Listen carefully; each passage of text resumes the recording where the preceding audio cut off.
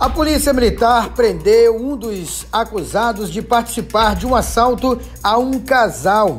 Ele foi identificado como Ananias da Silva, de 20 anos. De acordo com as informações da Polícia Militar, o assalto aconteceu na Travessa Goianésia, no bairro Aeroporto, por volta das 23 horas na noite de véspera de Natal, em Tailândia, nordeste do estado.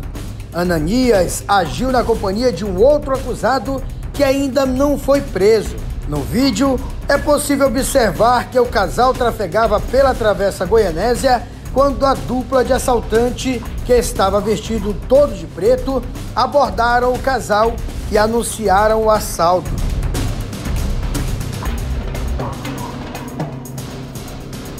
Depois de ter tomado a moto de assalto, Observem que antes de irem embora, eles voltam e parecem falar algo com o casal, que permanecem de costas para os bandidos. Depois vão embora levando a moto do casal.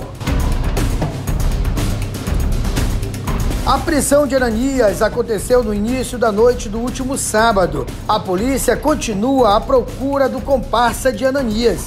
De acordo com as informações da PM, é só questão de tempo para prendê-lo. Preso, Ananias foi encaminhado para a Delegacia de Polícia Civil de Tailândia. A moto foi recuperada e entregue aos donos.